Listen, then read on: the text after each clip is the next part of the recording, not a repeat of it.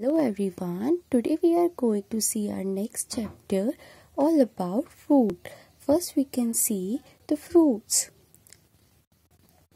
See mango, plum, peach, date, date means chohare, strawberry, sapota, chiku, blackberry, jamun, cherry, lemon lemon everyone knows nimbu खट्टा खट्टा now apple orange pear next next page pomegranate अनार muskmelon kiwi watermelon ता तरबूज का fig sweet lime pineapple banana, grapes, guava, papaya, lychee.